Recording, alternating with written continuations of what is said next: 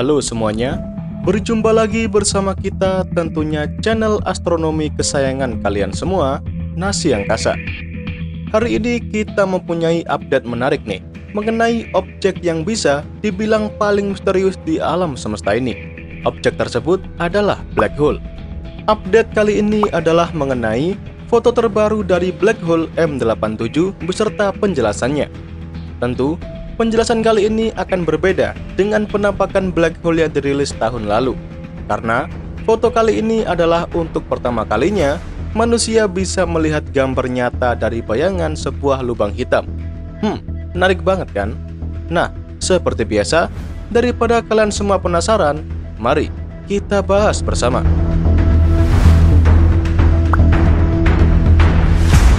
Kalau kita melihat kembali potret sebelumnya dari black hole yang lebih sederhana, para ilmuwan telah menemukan bukti bahwa cincin di sekitar memiliki semacam goyangan yang membuatnya tampak berkilauan atau bersinar terang.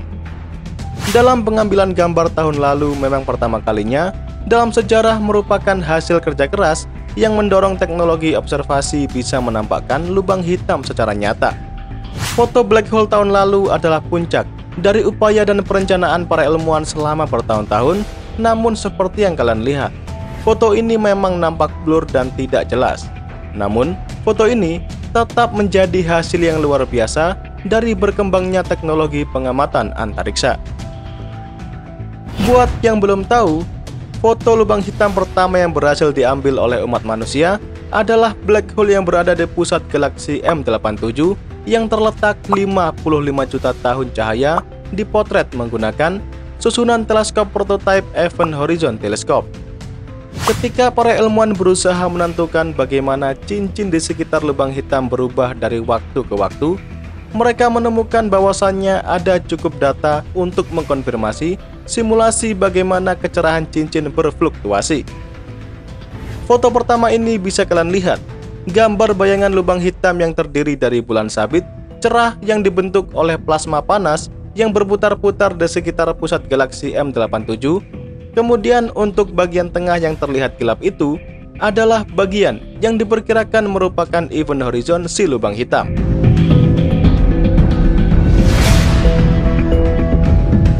Berdasarkan hasil potret tahun lalu itu juga, para ilmuwan pun mengajukan pertanyaan, yaitu apakah morfologi seperti bulan sabit itu konsisten dengan data arsip? Dan apakah data arsip menunjukkan ukuran dan orientasi bulan sabit yang sama? Kemudian, seluruh tim peneliti dengan menggunakan pendekatan pemodelan statistik berdasarkan kerangka kerja yang digunakan untuk analisis data pada tahun 2017 membentuk titik awal untuk model mereka. Dan data yang diperoleh dari tahun 2017 juga digunakan untuk membatasinya. Setelah diteliti, mereka pun menemukan persis seperti yang diprediksikan oleh teori relativitas umum. Bayangan lubang hitam sampai di lingkaran tengah cincin yang bercahaya bertahan selama periode waktu dan mempertahankan diameter yang sama selama bertahun-tahun. Kemudian, sekarang mari kita fokus ke citra black hole tersebut. Ketika kalian melihat foto lubang hitam ini, kalian pasti akan melihat bagian cincin yang jauh lebih terang. Buat yang belum tahu, cincin tersebut terdiri dari debu dan gas yang berputar-putar dan masuk ke dalam lubang hitam dalam piringan akresi dan menyebabkan nampak kecerahan yang tidak merata. Dan sekali lagi, hal ini sudah diprediksi oleh teori relativitas umum dan disebut sebagai efek Doppler. Menurut pengamatan dan penelitian, saat bagian dari cincin berputar, maka cincin tersebut akan tampak lebih cerah. Dalam sebuah rekonstruksi yang dilakukan oleh tim ilmuwan, mereka menemukan bahwa wilayah terang tidak tetap pada tempatnya karena objek tersebut bergerak dan nampak bergoyang seperti yang dijelaskan di awal tadi. Dalam rekonstruksi yang dilakukan ini, tim ilmuwan juga mengaitkan gerakan itu tadi dengan turbulensi arus, dan itu memberitahu kita bahwa banyak hal terjadi di wilayah sekitar lubang hitam yang akan berdampak terhadap materi yang ada di sekitarnya. Karena aliran materi yang ada di sana bergoyang, maka terlihat bulan sabit juga tampak bergoyang seiring berjalannya waktu.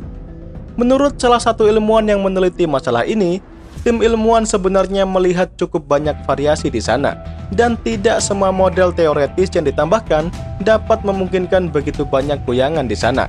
Itu artinya, para ilmuwan pun dapat mulai mengesampingkan beberapa model berdasarkan dinamika sumber yang diamati. Di sana, mungkin ada beberapa hal yang menyebabkan turbulensi dalam aliran, besarnya putaran lubang hitam adalah satu, dan struktur medan magnet pada cakram akresi itu sendiri adalah struktur yang lain. Hal ini bisa terjadi tentu karena bisa didorong oleh ketidakstabilan atau ketidaksejajaran dalam putaran lubang hitam dan aliran akresi. Kemudian, kemungkinan lainnya juga bisa ada hubungannya dengan pembentukan jet plasma. Kemungkinan ini adalah karena aliran plasma yang kuat dari bagian dalam cincin akresi yang dipercepat di sekitar bagian luar event horizon lubang hitam dan diluncurkan keluar angkasa dengan kecepatan relativistik. Hmm, rumit bukan? Kurang lebih seperti ini sih penjelasan dari foto terbaru ini. Dan ini pun sebenarnya sudah saya sederhanakan agar bisa lebih mudah kalian pahami. Dari semua upaya penelitian tadi, para ilmuwan kemungkinan sudah mengetahui bagaimana fenomena ini bisa terbentuk, walaupun juga tidak sepenuhnya yakin. Jadi pada intinya penelitian berkelanjutan terhadap black hole yang berada di pusat galaksi M87 ini akan dapat membantu para ilmuwan untuk lebih banyak mengetahuinya. Karena banyaknya data penelitian sebelumnya dinilai relatif lemah dan tidak mungkin untuk menarik kesimpulan apa pun mengenai lubang hitam ini. Namun, dari semua data yang sudah didapat ini, asal kalian tahu saja, ternyata pekerjaan dari Event Horizon Telescope masih jauh dari kata selesai. Ya tentu saja ya, ini terjadi karena Event Horizon Telescope terdiri dari jaringan teleskop radio yang menjangkau di beberapa bagian dunia. Dan setiap fasilitas baru yang menambahkan kemampuannya pada kolaborasi hanya meningkatkan kekuatannya saja.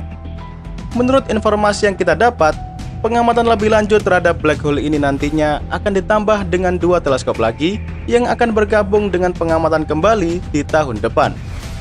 Tentunya dengan kemampuan pencitraan yang ditingkatkan lagi, akan dapat memberikan tampilan yang lebih rinci pada bayangan dari lubang hitam di pusat galaksi M87.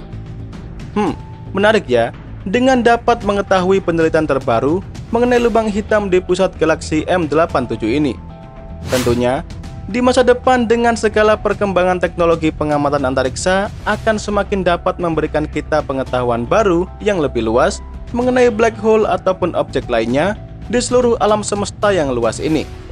Oh iya, buat kalian yang mau melihat hasil penelitian lengkap mengenai black hole ini, kalian bisa langsung melihat atau cek Astrophysical Journal karena penelitian ini tadi telah dipublikasikan juga di sana. Oke, mungkin itu saja yang bisa kita sampaikan hari ini, yaitu mengenai update foto terbaru dari black hole di pusat galaksi M87. Semoga video ini bisa memberikan wawasan baru mengenai dunia antariksa, plus hiburan buat kalian semua. Jangan lupa ke depannya masih akan ada banyak sekali pembahasan menarik mengenai dunia antariksa yang pastinya bakal menarik untuk kalian simak.